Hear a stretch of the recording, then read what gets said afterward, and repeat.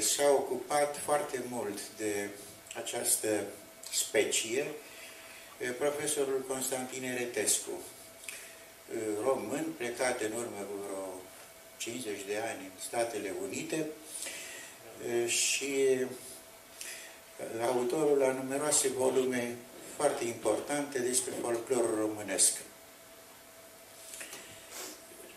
Specia aceasta, mă rog, este considerată a fi una relativ nouă. Eu am uh, foarte mari uh, rezerve uh, și nu susțin această afirmație că am fi în fața unei specii noi. O să vedem de altfel, pentru că vreau să facem un mic excurs în ce privește formele epici orale și în sistemul acestora să vedem ce înseamnă de fapt legenda urbană. Știți foarte bine că înainte de a avea literatura, cuvânt care vine de fapt de la literă, deci e vorba despre forma scripturală a unei arte,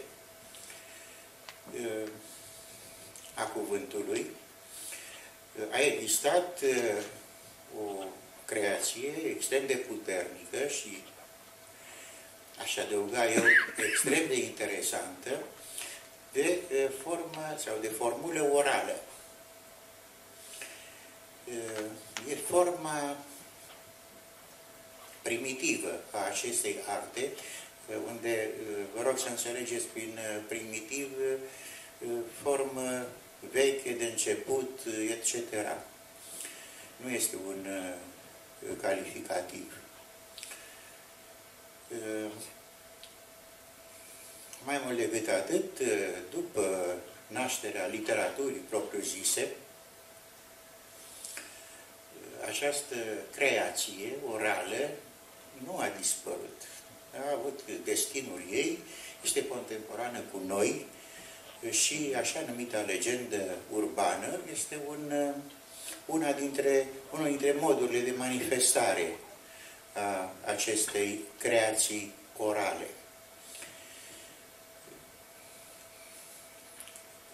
toate formele de epică, pentru că ne ocupăm cu deosebire de epică, toate formele de epică se nasc în limbaj și prin limbaj.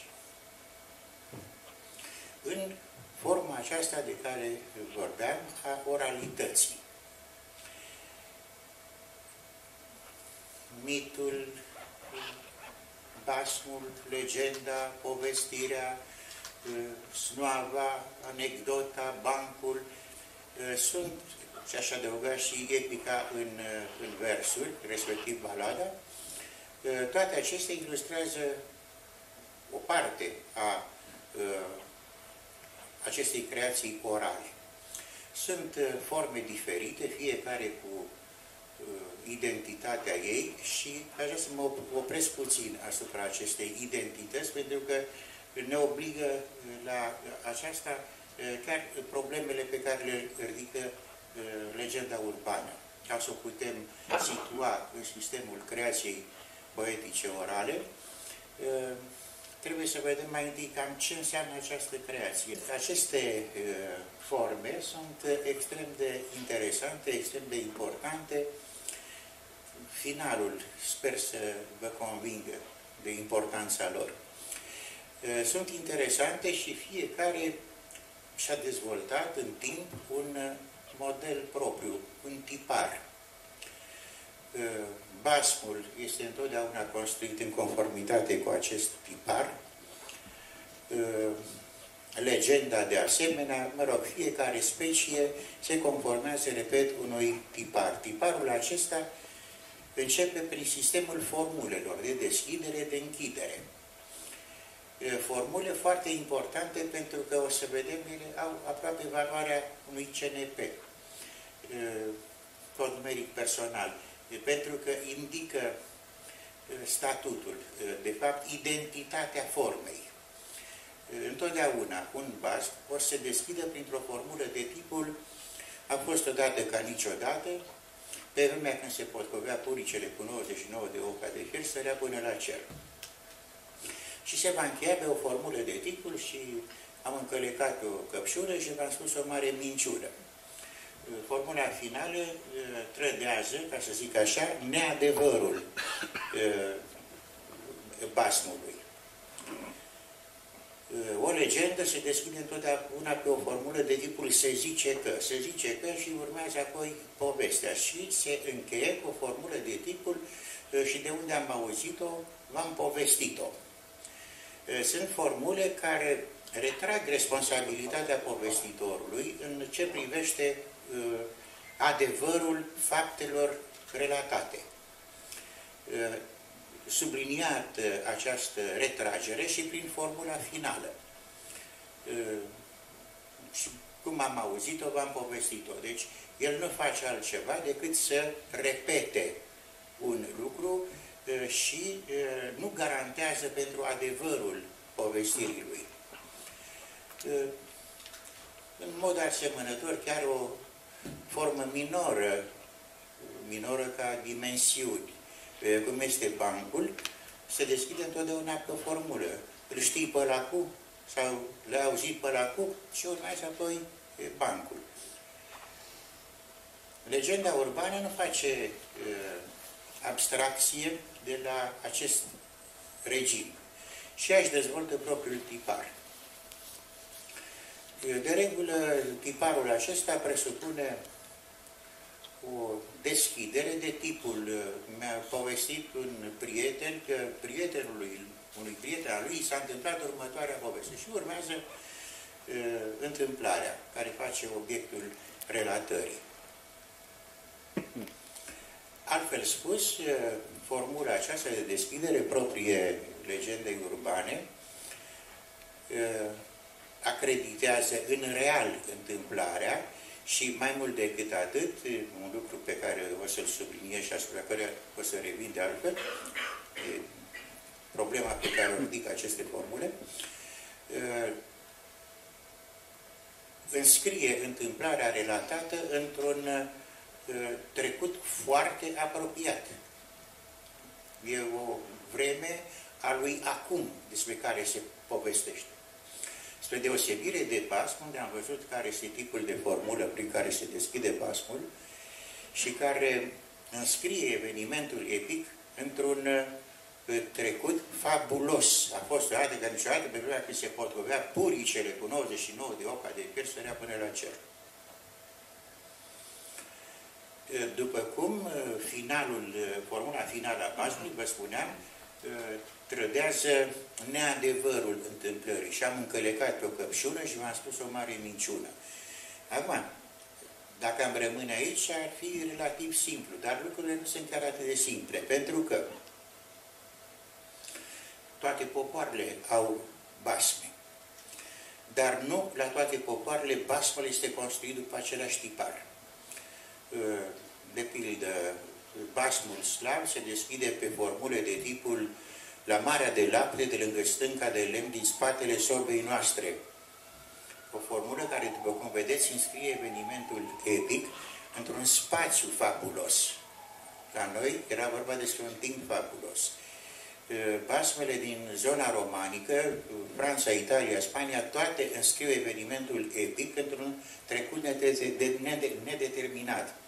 Il était une fois, a fost odată, c'era una volta. Deci un trecut nedeterminat pe câtă vreme, să spunem, basmul arab, întotdeauna înscrie evenimentul epic într-un trecut real și într-un spațiu real.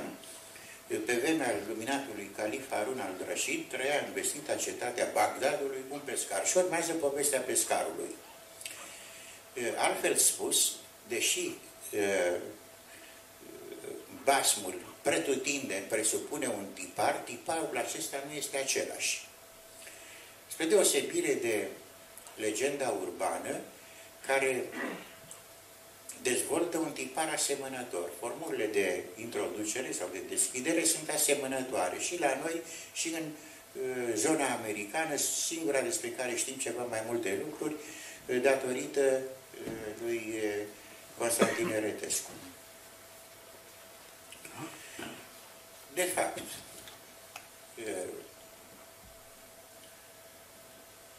vă spuneam că nu este o invenție nouă, legenda urbană. Dar pentru a ne apropia cât de cât de legenda urbană, aș vrea să fac un scurt inventar al legendelor urbane mai cunoscute și mai percutante.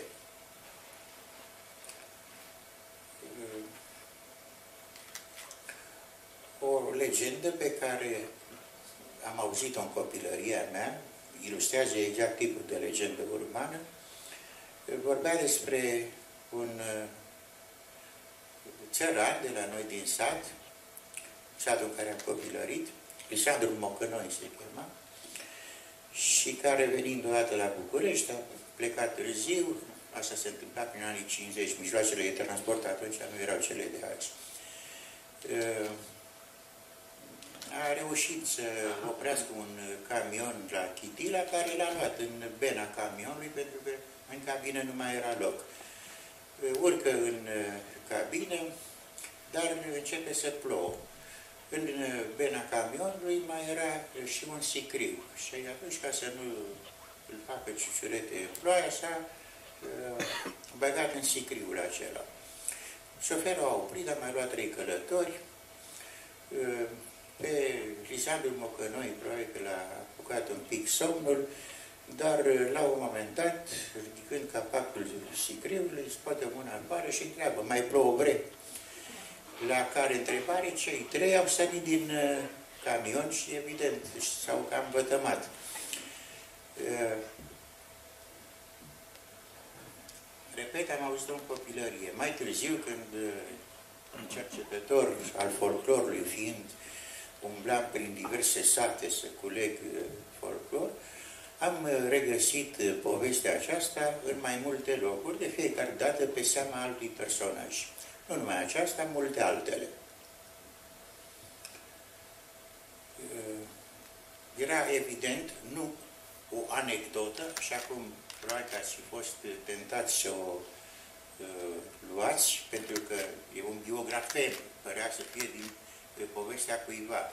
Nu, nu era din, era pusă doar pe seama uh, acelui personaj, care de altfel era un uh, personaj uh, care atrăgea atenția. Era un bărbat foarte înalt, foarte puternic, muncea foarte mult, din cauza aceasta era căutat și în același timp era și evitat să fie luat la alții la muncă, pentru că muncea cât trei, dar și mânca cât patru. Partea a doua nu era foarte apreciată. Mai mult, atunci când lucra cu mai mulți, nu era un exemplu bun pentru ceilalți, pentru că întotdeauna el, când prășea porumbul de pildă, era cu 100-200 de metri mai departe decât ceilalți, mergea cu o foarte mare viteză. V-am uh, dat uh, această povestioară pentru că, repet, nu este un biografem, nu este uh, o anecdotă din, pe, pusă pe socoteala cuiva, ci este o temă liberă care circulă în diferite zone ale țării. Uh, mai târziu, uh, prin anii 60, 60 și ceva, când în București s-a deschis un nou restaurant, e vorba despre Budapesta, uh, circulau zvonuri în oraș că în acest restaurant se servea de fapt carne de om că în uh, beciurile restaurantului erau uciși, anumiți clienți, care apoi erau uh, serviți celorlalți. Uh, povestea aceasta, mă rog, pentru mine nu aducea nimic nou, pentru că în același sat în care am copilărit, am aflat o poveste a unui cărăuși acesta făcea cărăușie, dar în drumurile lui se legase de o hangiță, între cei doi se uh, crease o relație foarte puternică, asta până în clipa în care cărăușa a constatat că hangița avea o fată mai frumoasă decât mama. Și s-a produs o comutare, care evident că n-am încântat-o pe Hangiță, dar chiar am furiat-o cumplit, atât de cumplit, încât într-una dintre zile și-a ucis fata în uh, beciul hanului. Ghinionul a făcut ca tocmai atunci să vină niște cărăuși foarte înfometați, care au cerut ceva de mâncare, dar au băgat de seamă că Angița era plină de sânge. Au întrebat ce s-a întâmplat și a spus că tocmai a tăiat un vițel. Foarte bine au zis ăștia, dă și nouă câte o friptură. Angița mai întâi n-a avut, a evitat, dar până la urmă, ca să nu iasă mai urât, i-a servit. Uh, și povestea aceasta am regăsit-o în uh, multe alte locuri, în uh, monografia unui învățător din Odobești, în fine, în, pe vremuri învățătorii făceau monografiile satelor și căutau să prindă acolo și repertoriul folcloric al zonei. Din cauza aceasta vă spuneam că nu cred că suntem în fața unei forme noi. Are avataruri, sau, mă rog, și povestea cu Budapesta și povestea cu cel adăpostit în Sicriu, sunt avataruri ale unei teme care circulă de altfel pe spații foarte largi. Dar avatarurile legendei orale nu se opresc în acest punct. Evident că astăzi, ceea ce spunem că ar fi legenda urbană, este totuși destul de diferită față de exemplele pe care vi le-am dat. Asta pentru că suntem într-o perioadă de schimbare de paradigmă, S-au schimbat ritmurile vieții, s-au schimbat, uh, uh, s-a schimbat modul de comunicare, s-au schimbat mijloacele de, de transport, în fine, uh, orizontul nostru s-a extins și el e cu totul altă lume, lumea aceasta modernă, să spunem de la 1900 încoace. Au apărut instituții noi și ele fac obiectul acestor legende urbane. Sunt foarte multe legende urbane care vorbesc despre bar, despre discotecă, despre hotel, despre, uh, mă rog, marile magazin, cum îi spune, genul mall, mă rog, uh, alte lucruri de genul acesta. Deci, uh, legenda se aduce la zi, ca să spun așa, și își schimbă decorul, pentru că, de fapt, s-a schimbat decorul vieții schimbă decorul, schimbă și problematica. Nu numai decorul s-a schimbat, s-au schimbat foarte multe alte lucruri. A apărut între timp transfuzia de sânge, a apărut transplantul și multe alte lucruri, boli care înainte nu existau, cum este SIDA și așa mai departe. E bine, toate acestea fac obiectul legendelor urbane. Un exemplu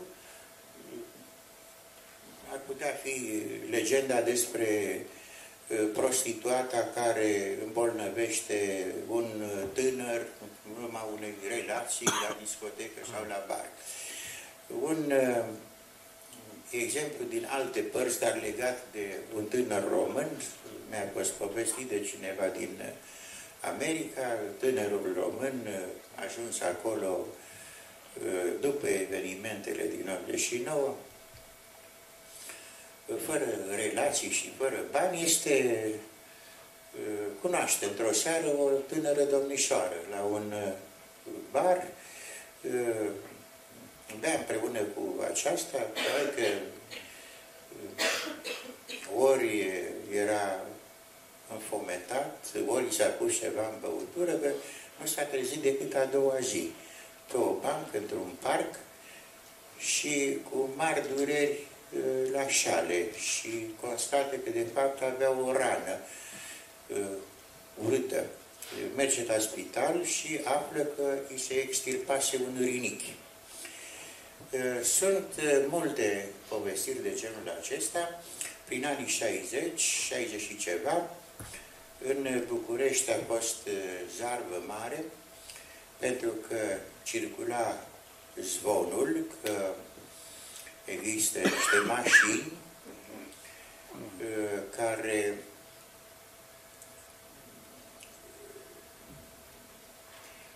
prind, mă rog, pe câte cineva și îi scot sângele necesar pentru transfuzii.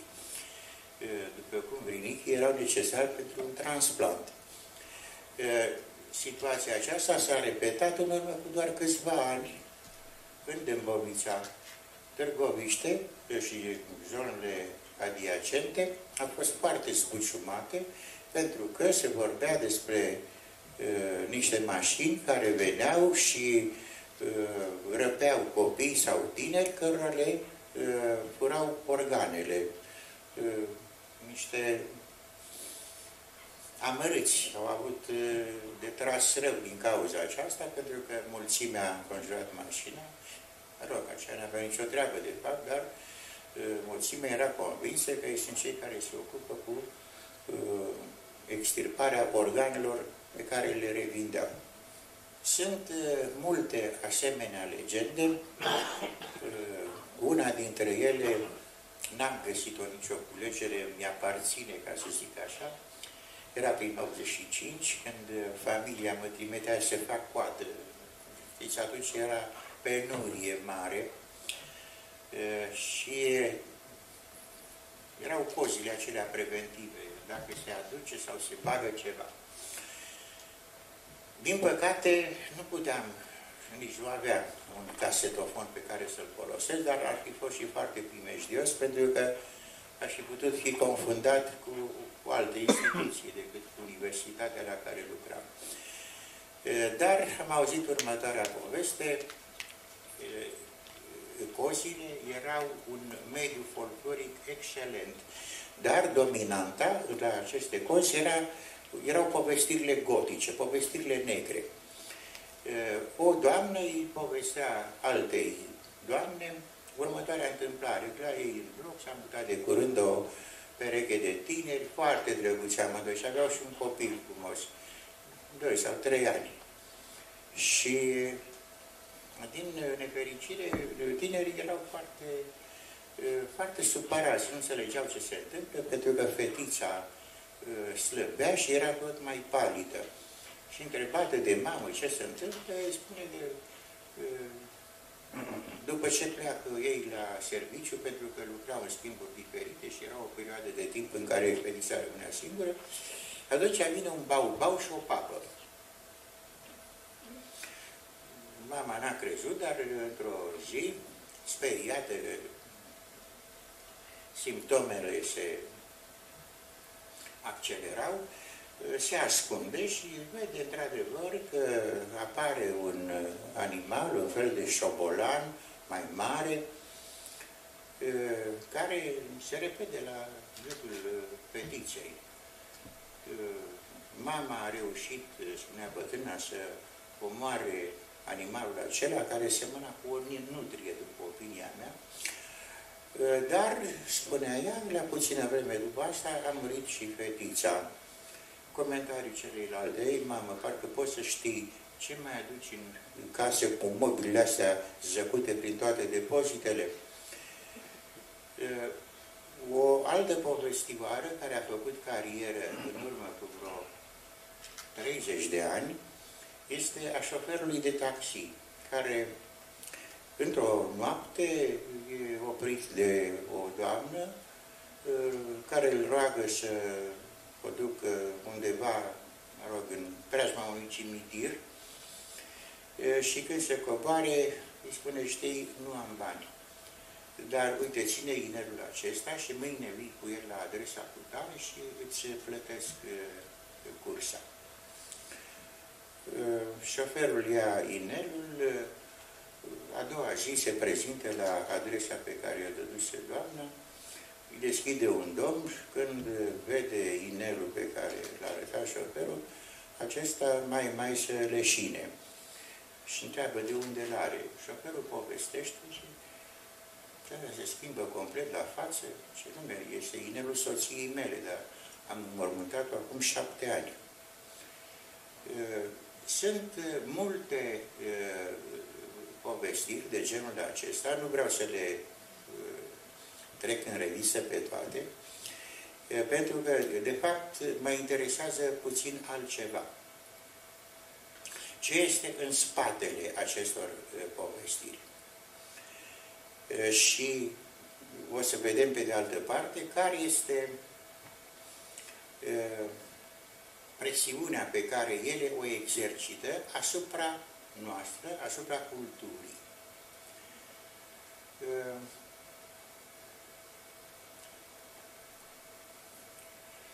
Mod obișnuit, un mit rezolvă o dificultate gnoseologică. De pildă, cunoscutul mit al lui Cronos îl prezintă pe acesta ca pe un bărbat care își devora proprii fii. Într-un fel asemănător lui Ugolino din Infernul lui Dante, contele Ugolino, cel care își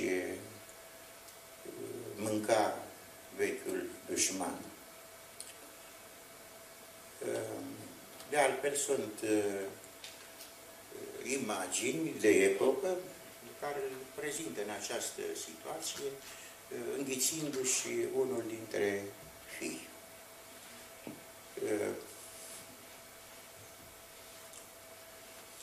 Semnificația acestei construcții, pentru că suntem în fața unei construcții pe care o datorăm imaginației, este însă alta.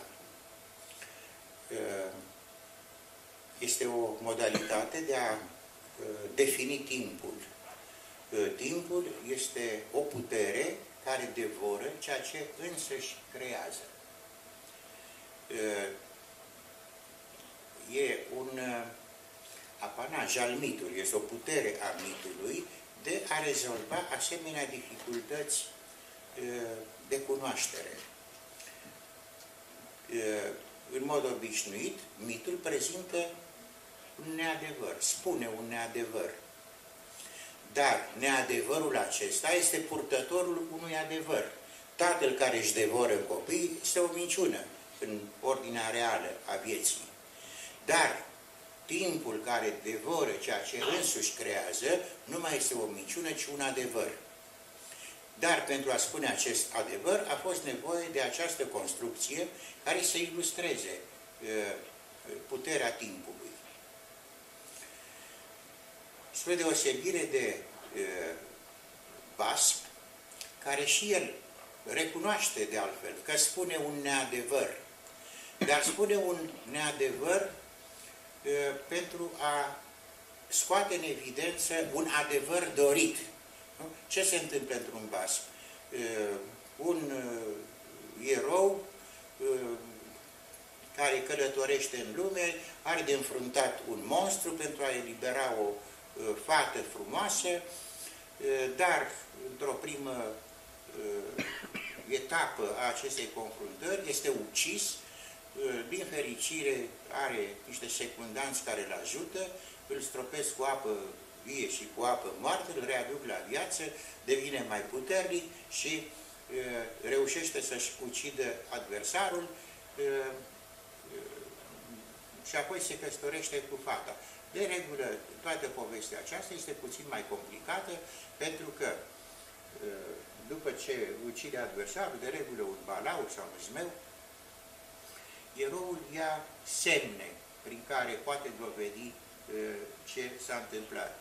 Apare însă uh, un impostor. Uh, de regulă, în basmele românești, impostorul este un țigan care își mânjește hainele în sângele balaurului și vine și pretinde că el este cel care l-a ucis, deci lui se cuvine prințesa. Dar revenirea eroului duce la condamnarea impostorului și la restituirea adevărului. Evident că avem de-a face cu o construcție epică care face elogiul a trei valori fundamentale. Binele, adevărul și frumosul. Binele este triumful asupra unui personaj care întruchipează răul, balaurul. Adevărul este triumful asupra impostorului, acelui care mistifică uh, adevărul. Și frumosul este răsplata, mâna prințesei pe care o primește eroul. Uh, dar basmul, în mod onest, își previne ascultătorii că asemenea lucruri de fapt, nu sunt posibile. Ele reprezintă o mare minciună. Ar fi vorba despre un adevăr dorit, dar nu și un adevăr real. În, într-un mod asemănător, spuneam că stau lucrurile și în cazul legendei, dar acolo e vorba despre altceva. Tipul de mesaj uh, face elogiul unui adevăr unei valori despre care povestitorul să recunoaște că nu este sigur. El doar repetă ce a auzit. Poate să fie așa, poate să nu fie așa. Deci, e o întâmplare care se termină prin semnul de întrebare pe care îl aduce formula finală și cum am auzit-o, v-am povestit-o. La care îi retrage responsabilitatea povestitorului. Nu la fel stau lucrurile în cazul legendei urbane. Aici, întâmplarea este prezentată ca reală. S-a întâmplat unui cunoscut al unui cunoscut al meu. Deci, există o relație de apropiere și toată povestea nu se pune în discuție. Nu se pune în discuție. Da, da și nu. Pentru că adeseori temele acestor uh, legende urbane sunt și ele cu semn de întrebare.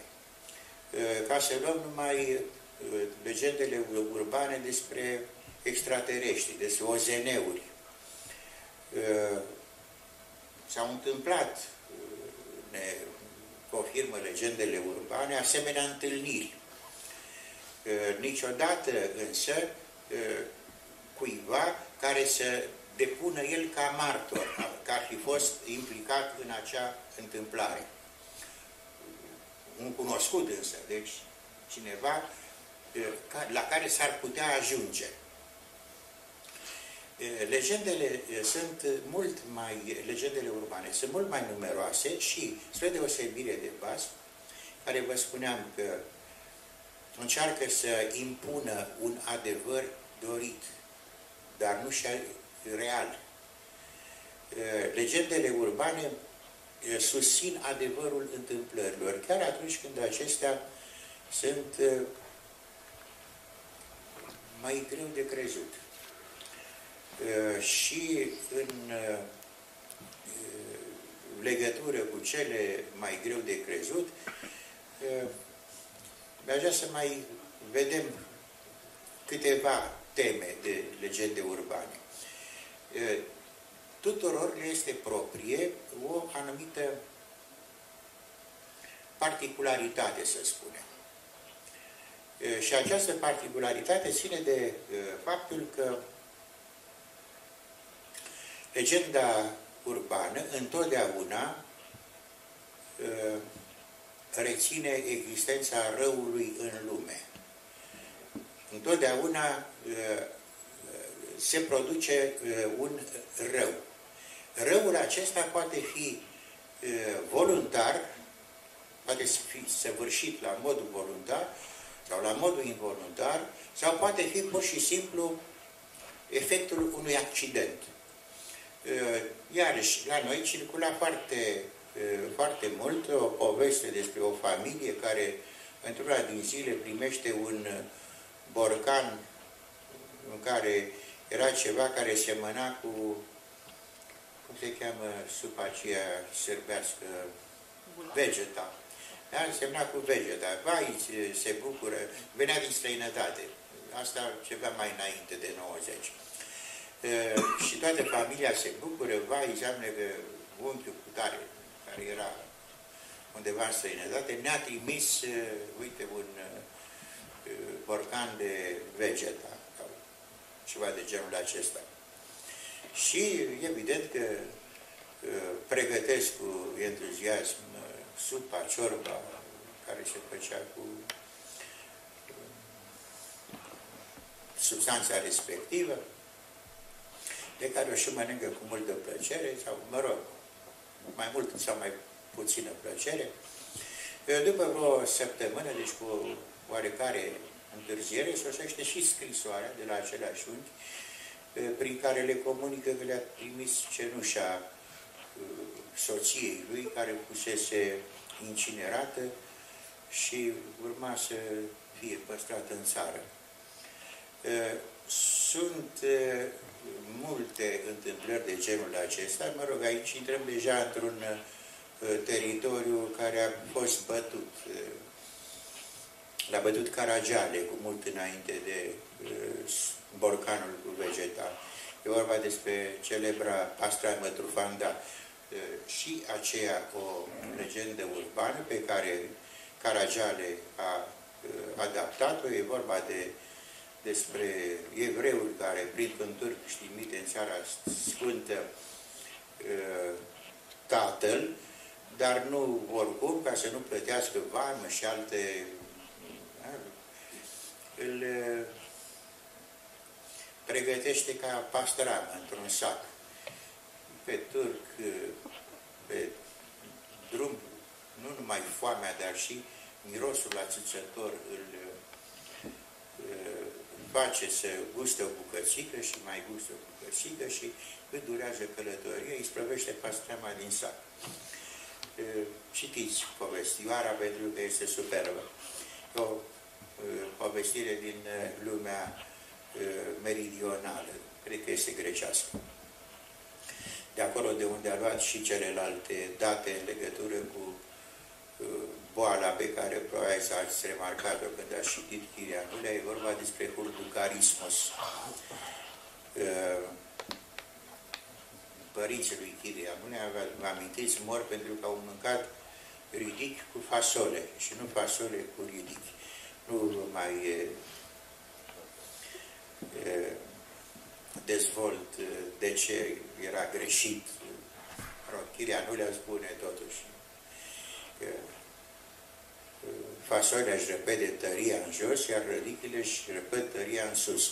Din cauza asta trebuie să mănânci fasole cu ridic și nu ridic cu fasole. Mă rog, sunt multe lucruri de genul acesta care și ele circulau în aceste așa numite legende urbane. Sunt multe altele de altfel. Dar legenda urbană și-a depășit întotdeauna teritoriul. Atrage pentru că și la legenda, ca întreaga literatură, se naște în punctul de întâlnire al memoriei cu imaginația. Dar memoria este o facultate care leagă ființa umană de ordinea practică a vieții și de istorie, de adevărul istoric, pe câte vreme imaginația e o facultate care ne poartă, de fapt, în zona invenției, a născocirii, a închipuirii, în zona mitului, acolo unde s-a născut și imaginea lui Cronos. Și aici, mă rog, cred că ar trebui să fac o scurtă paranteză ca să uh, înțelegeți mai bine ce este cu această întâlnire dintre imaginație și memorie. Este exact ca întâlnirea care se produce între aur și cup și aramă. Aurul, în mod obișnuit, cu excepția monezilor bătute de Imperiul Austriac din aurul sârbesc, la 1915, au devalizat uh, banca sârbească și au bătut monezi din aur de 24 de carate. Deci cu această excepție, chiar aurul monetar nu este niciodată mai sus de 22 de carate. Iar bijuteriile, cum știți foarte bine, sunt de 14 carate, de 16 carate, de 18 carate. 14 carate înseamnă, se notează în zona bijutierilor prin 585. Asta înseamnă 585 la mie aur. Altfel spus, orice bijutier are capacitatea, are știința de a spune cu certitudine cât aur pur se află într-o bijuterie și cât aliaj. Uh, v-am dat uh, exemplul acesta cu aurul pentru că și în cazul epicii orale, în cazul legendei urbane, mă rog, ce discutăm, avem de-a face cu o situație asemănătoare. Și acolo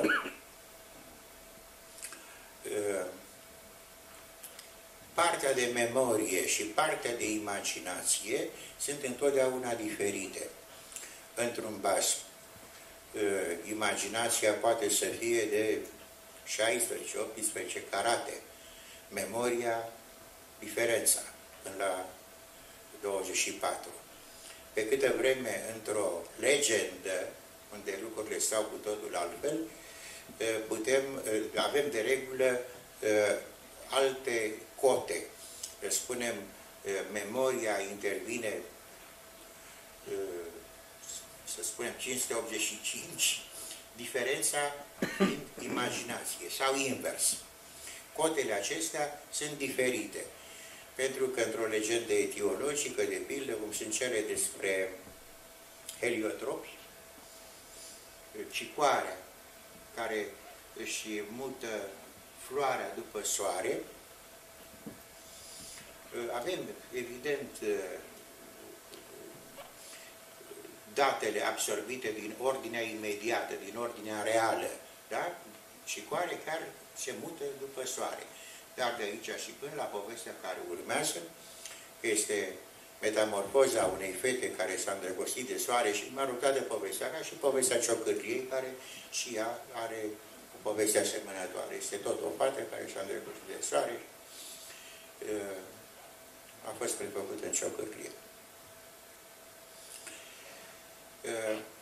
Vreau să spun că și în cazul acestor forme ale epicii orale, avem în proporții diferite aliajul acesta dintre memorie și imaginație. Spuneam că în bas, în mod evident, domină imaginația și mai puțin este reprezentată memoria, de câte vreme într-o legendă istorică sau geografică, despre un sfânt, partea de memorie, deci ceea ce are legătură cu istoria, este mult mai puternică decât partea de imaginație. Chiar și în, în povestea lui Varvar Tâlharul, cel care uh, trebuie să ude un toiag uscat până când acesta face frunze și uh, apoi cresc mere în ramurile pomului. Uh, suntem de altfel în fața unei, unui loc comun, îl găsim în multe culturi ale lumii. Uh, Aron, fratele lui, lui Moise, este ales preot după ce toți candidații își lasă toegele peste noapte în, într-un cort și singurul care a doua zi dimineața este găsit înverzit este cel al lui Aron. Dar povestea asta o regăsim și în cântecele de gestă franceze, cavalerii și înfig lâncile în pământ și dimineața lâncile câtorva dintre ei, cei care vor muri în lupte, sunt găsite, înversite și așa mai departe. Sunt, e vorba despre o recuzită, dacă vreți, pe care o găsim în Eh, pretutindeni în, eh, în lume. Ceea ce eh, interesează însă este această conjuncție, această întâlnire a memoriei cu imaginația. Spuneam că mhm. dozele în care intervine memoria și imaginația în construcția unei legende sunt diferite. Într-un fel este în baz, altfel este în legendă, altfel este în povestire, povestirea de tip uh, memorat uh, sau fabulat, cronicat. Uh, alta este doza într-un banc, pentru că și acolo avem aceeași întâlnire dintre memorie și imaginație și evident pare să fie mai mare doza de memorie decât doza de imaginație în legendele urbane. În orice caz, lucrul acesta ne ajută să stabilim, să spunem, o scară a valorilor în funcție de cantitatea, să spunem, de memorie și imaginație la care recurge o povestire de tip basm, legendă și așa mai departe. Dar, după opinia mea, piatra de încercare a legendei nu este folcloristica, ci literatura. Pentru că dintotdeauna legenda a avut o carieră literară dincolo de ceea ce este mediul ei vital, adică relatările orale de la povestitor către ascultător. Mult mai puternic și mai pregnant a fost circuitul legendei în literatură, de asta dat în sensul etimologic, deci nu în epica orală, nu în creația poetică orală, ci în literatură. Toți mari autori au văzut cu siguranță în legendă o sursă. Și așa se explică faptul că Sadoveanu, de pildă, a absorbit o asemenea legendă în crâșma lui Moș Precu. Sunt și altele, dau mai puține exemple. În crâșma lui Moș Precu, unde apare povestea babei Cârne. Este o legendă care face o carieră fulminantă în uh, literatură. Au luat-o și au uh, prelucrat-o mulți scriitori, dar primul care uh, deschide către lumea aceasta este Sadoveanu. Pentru ca mai târziu, prin Vasile Voiculescu, tema să fie tratată într-o manieră mult mai subtilă și mai convingătoare. E vorba despre iubire magică, unde o, un personaj feminin își schimbă chipul și se pare că la mijloc este un, o intervenție magică, ca și în cazul babei Cârnei, Ulcica babei. Un alt exemplu ar fi Dere Popescu, care ia tema autostopistei în vânătoare regală și o include în roman. Un alt exemplu, mă rog, cel mai spectaculos din punctul meu de vedere, este Tudor Arghezi, care în Flori de Mucigai, că acestea sunt efectul închisorii pe care o face la Văcărești și al intrării lui în contact cu fauna uh, închisorii. Uh, are cel puțin două povestioare acolo, două uh, poezii care au la bază, de, de fapt, legende orale. Este vorba despre pui de găi și ucigăl toaca. Pui de găi, povestea în uh, ucigăl toaca, e povestea unui uh, țăran care se întoarce de la câmp uh, și pe câmp, noaptea, îl întâmpină o cucoană cu pălărie și cu tocuri, care îl roagă să o ia și pe ea. După o vreme, cucoana îl întreabă, ai parale? și sare să-l gâtuie, dar spune Arghezii, mă rog, în timpul acesta țăranul se, se cam pregătea pe sub Ipingea și, mă rog, e învins, de fapt, insul travestit în femeie, așa cum se întâmplă și în Pui de Găi, unde fata celui ucis de tâlhari reușește să scape, dar ajunge chiar în casa tâlharilor. Și până ca aceștia se întoarcă, e sepultată de bătrâna care se ocupă de ea, alături de fica ei. Dar între timp se întorc tâlharii și povestesc supărați că le-a scăpat popila, nu, zice bătrâna, a scăpat e aici. Și evident că o ucid nu pe fata care scăpase, ci pe propria lor fică, soră, nu mai știu ce era. Iar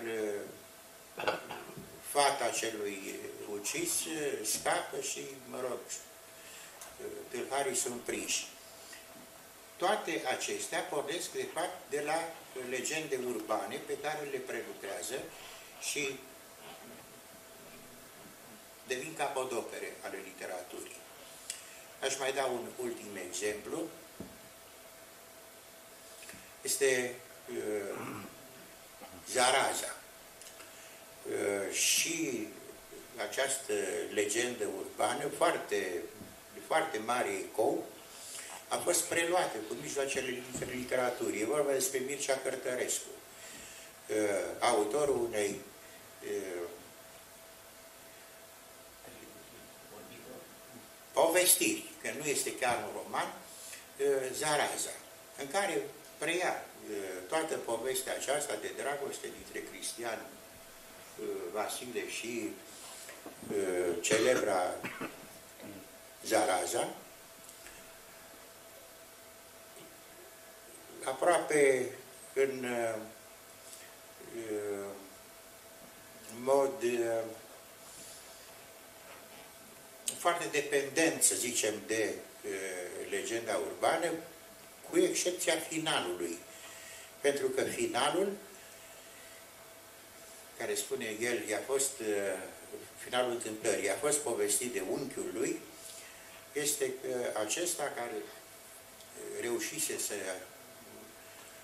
pună mâna pe borcanul în care fusese adunată cenușa zaraze incinerate, ă, sistematic ia câte o lingură din ă, borcan și o înghite. Ă, este poate cea mai frumoasă formă de comuniune despre care a vorbit literatura. Vedeți că astăzi seară n-am căutat anume să fac lucrul acesta, așa s-a întâmplat, am tot vorbit despre uh, acte, să le zicem, de canibalism. Cronos își devoră fii, dar povestea înseamnă de fapt altceva. Uh, ce am mai spus că am uitat? Ah, da. Uh, povestea... Hmm? Vegeta, cu vegeta aia. Cu Borcanul cu vegeta. E, e, povestea cu, e, mă rog, urna, de fapt, borcanul acela era o urnă. Pastrama lui Caragian. Pastrama Trufan, dar nu, că acolo e altceva. Da. Și e, e, pentru că la pastramă în borcanul cu vegeta este tot o formă de comuniune sau dacă vreți de înminecare, fără voia lor, ulterior află. Pe cât aici avem o, un act de voință, este uh, însoțirea dincolo de moarte cu cea pe care a iubit-o și care continuă să facă obiectul adorației. Uh, această, nu găsesc alt cuvânt mai potrivit decât cu minecare, decât, uh, e o formă de participare, de însușire, uh, a rămășițelor cele iubite. Exemplele acestea pot fi multiplicate, dar ele nu vor face mai credibilă afirmația că, de fapt, piatra de încercare pentru legenda urbană rămâne literatura. Cele, acele legende urbane care trec în literatură au dat naștere la capodopere. Pentru că și crâșma lui Moș Precu, aș putea, repet, să dau și alte exemple, și uh, uh, poemele lui Arghezia sunt capodopere, ca și povestirile lui Voiculescu uh, și uh, nu mai puțin, aș zice eu, Zaraza lui Mircea Cărtărescu. E puțin altceva decât uh, este uh, legenda urbană în general. Cred că o să mă opresc aici ca să nu mi atrageți atenția că v-am plictisit.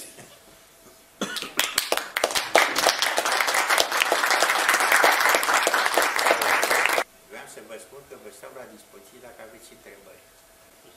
O căruță, pe vremea cât mai căru circulau căruțele prin București, care venea dinspre Cotroceni, mergând către Obor. Și în căruță, mama, tata și fiul, mic fiul. Și ajungând la piața Cogălnicianu, băiatul vede statuia. Băi, toate, bă, ce aia, bă? Nu știu, bă, lasă-mă în pace, zice tatăl.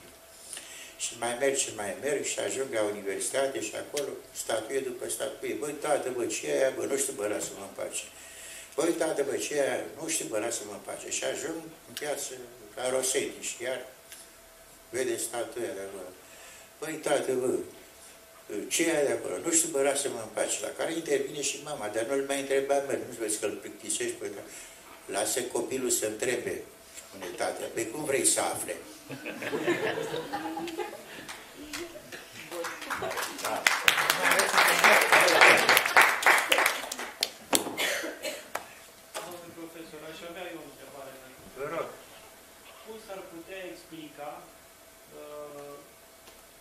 Sferă am putea situa confuzia sau, nu știu, zvonul acesta legat de moartea unor scriitori. Spre exemplu, vine în minte Mihail Sebastian. Folclorul circulă că ar fi fost omorât de un camion rusesc, adevărul se pare că e cu totul altul, că el, neatent, trecând pe Regina Maria, rămâne în mijlocul străzii, nevrând să, să treacă într-o parte sau alta, pentru că acel camion venea cu viteză spre el, tocmai fiind convins că va fi evitat și este lovit și omorât pe loc. Și da. despre el, despre Labiș, circulă tot felul de, de... Mai există un pictor care a fost și el victima unui asemenea asasinat, domnul Șușară din ilustrație alăturată vă poate confirma.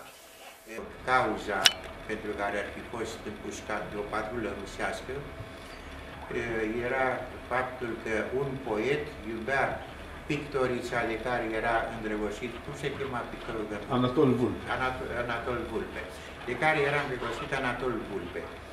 Și că pictor, uh, poetul, nu vă spun numele, că... Că știți. eu îl știu, obli să-l spun, este vorba despre Jebeleanu ar fi pus la cale moartea lui Anatol Vulpe, pentru că el se poate căsători apoi cu Florica Cordescu. Sunt multe asemenea povestioare. Eu nu le-aș pune în rândul legendelor urbane. Cele mai multe sunt fapte de imaginație. Întotdeauna, ca și în cazul lui Laviș, acolo lucrurile sunt mai complicate la Laviș.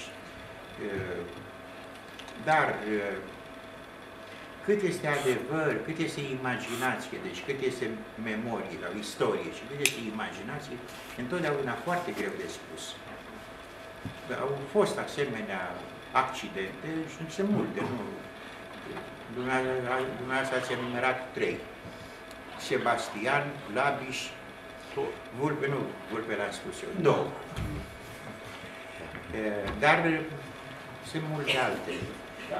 E foarte greu să, ce spuneam mai înainte, ca la bijutierii care lucrează cu aurul.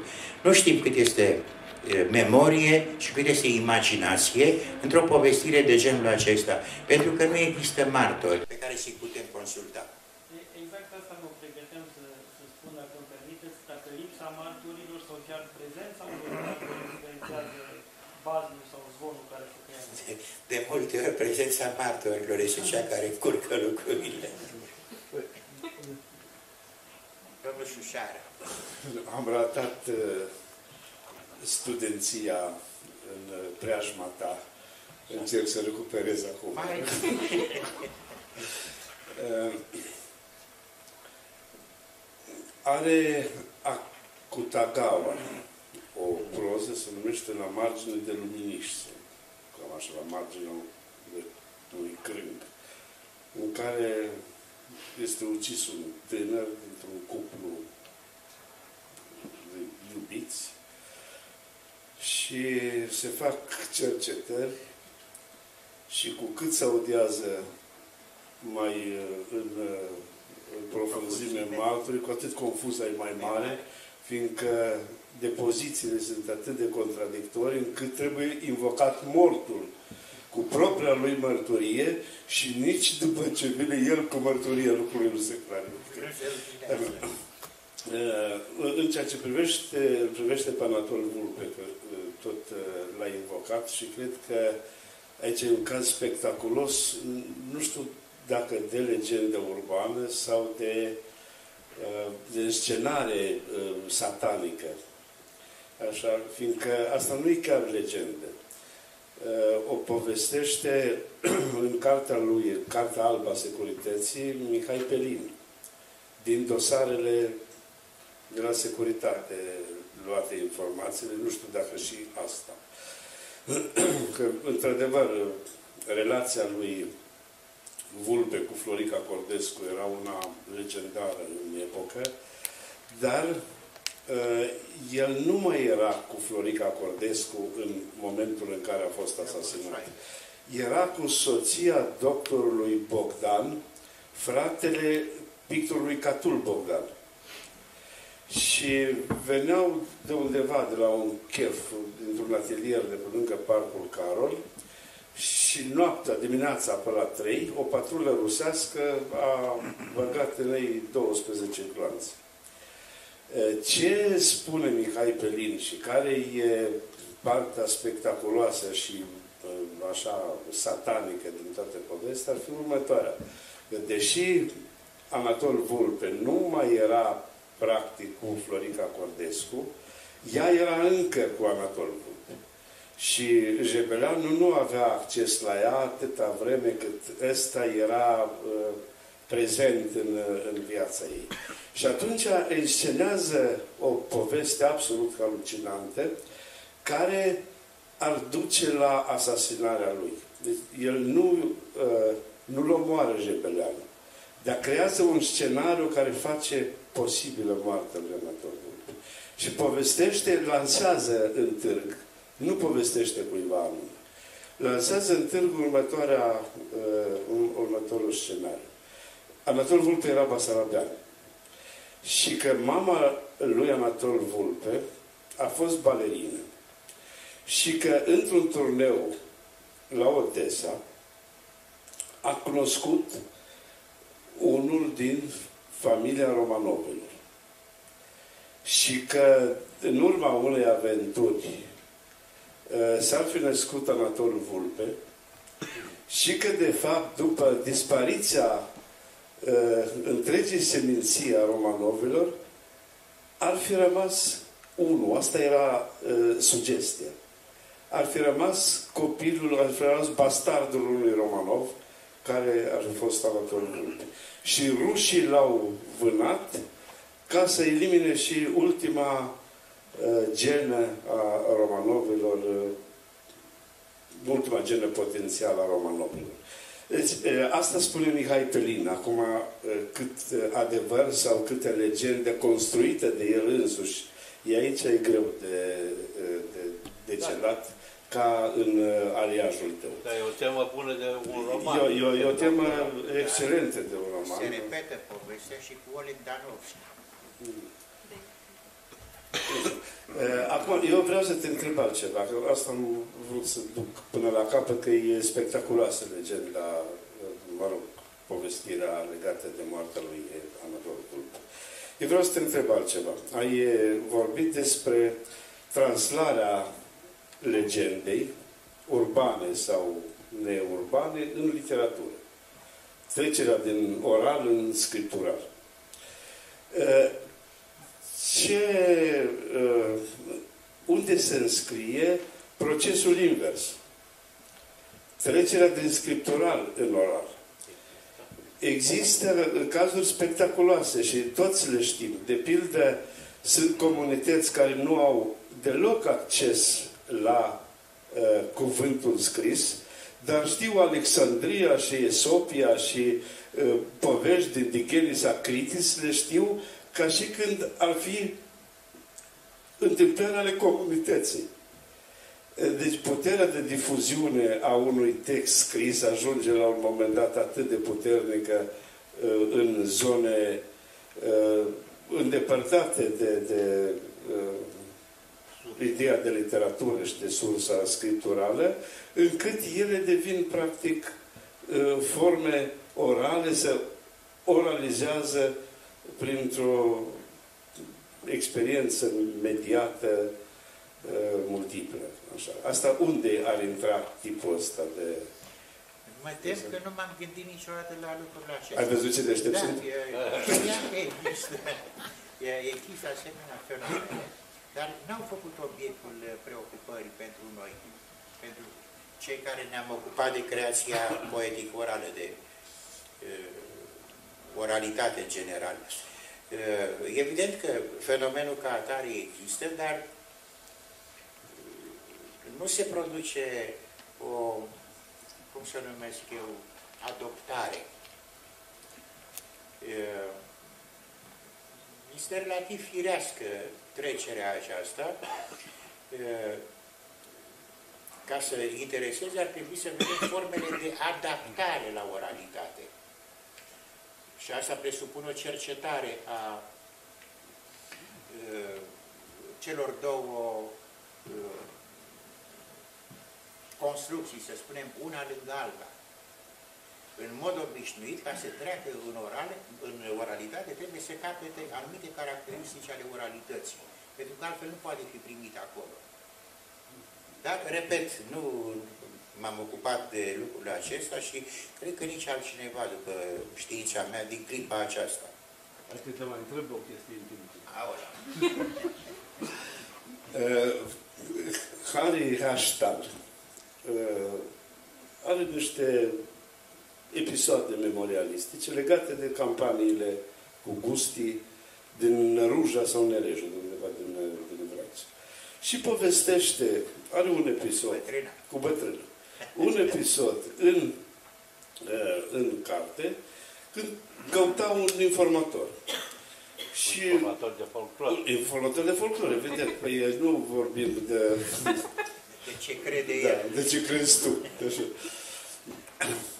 Uh, și cineva din sat îi spune, vină la noi că e baba.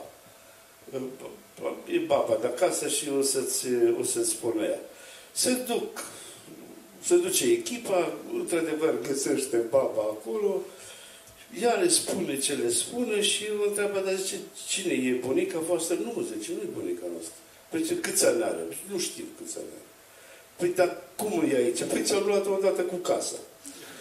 Bun, ați luat odată cu casa, dar uh, ăia care v-au dat odată cu casa, ce v-au spus despre ce nici ei nu știau, că și ei au luat odată cu casa. Deci uh, aici e o relatare uh, la prima mână. Uh, Sigur, nu uh, povestea uh, succes, Om serios. succesiunii uh, proprietarilor babei. Uh, Nu despre ei e vorba, ci despre relatarea uh, acestei întâmplări. Deci Henry Hastal nu poate fi suspectat de ăsta cu cercetătorii ăștia pe teren și tu știi foarte bine, nu stau cine știe ce cu imaginați. Deci, uh, cum ar intra asta? Excepția mea, te rog. Bun, pe persoanele de față nici nu există. Care există. Cum ar putea fi situată asta într-un uh, repertoriu de, de forme, uh, ca cel discutat, și ți-aș mai oferi încă una tot la prima mână. Ce, cum ar putea fi interpretată asta? În uh, memoriile lui Carlo Gozzi povestește următorul episod, că a intrat atâta în lumea spiriturilor, în lumea uh, ființelor nocturne, ființelor uh, uh, care trăiesc în eter și așa mai departe, încât la bătrânețe uh, au început să-l tulbure, să se răzbune pe el, pentru că le-a stricat uh, tihna o viață întreagă. Și zice, merg uh, pe stradă și odată vine cineva și mi-a bastonul din mână. Mă uit, nu e nimeni în jurul Merg pe plajă și vine unul și spune, zice, nu te-am văzut de mult, ce faci? Zice, nu te cunosc. Cum nu mă cunosc? Am fost așa. Și după asta eu îmi fac uh, o inspecție a memoriei și n-am fost niciodată acolo unde spune el. Uh, îmi aruncă pălăria de pe cap merg acolo, mă uit în jur, nu, nu, nu văd pe nimeni. Deci el era absolut convins că uh, a intrat în lumea propriilor lui subiecte și că uh, a început să, să, să se, uh, că realitățile se intersectează. E povestire la prima mână. Asta unde intră? Că nu era nebun. Nu era nici pe departe nebun. Textul lui e remarcabil și are toate datele unui text literar, fără ca el să fie literar asumat. Ce se întâmplă? Cred că în afară de forțele pe care le recunoaștem și le recunoaște știința, mai există încă și forțe pe care nu le recunoaștem și nu le recunoaște nici știința. Sunt multe asemenea exemple din zona spiritismului. Aș putea aduce exemplu hd și multe altele.